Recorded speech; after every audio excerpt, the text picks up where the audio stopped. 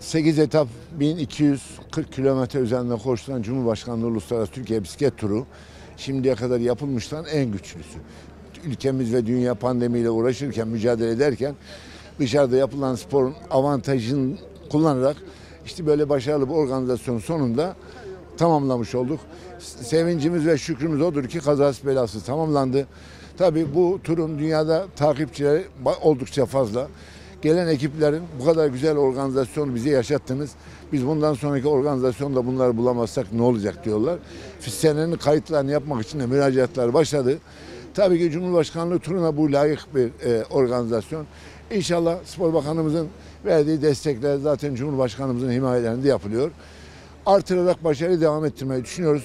Bizim koşan ekiplerden iki tane kontinental takımımız var. E, Spor Toto ve Sakarya.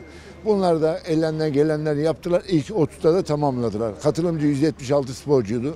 Dolayısıyla bisiklet sporunda da bir yere geldik. İnşallah podyumla çok yakın diye düşünüyorum. Katılanların kazasız belasız bitirmeleri bizim için önemliydi. İnşallah ülkemizden ülkelerine güzel hatıralarla dönüp oralarda bizim ülkemizi konuşmalar. Tabii ki şöyle yokuşların, dağların kralı mayosu bizde Sakarya e, Salkano'da kaldı. Çok güzel bir şey. Dolayısıyla e, diğerlerde işte bir finish mayomuz var, Türkiye güzellikler mayomuz var, bir de genel klasman var. Onlarda da çok yakındık. Ama bu defa böyle oldu. Bir de pozisyon meselesi bu. Yani fin- finişte önünüz kapanır. E, birinci olacakken 15. olursunuz. Gidişatımız iyi inşallah.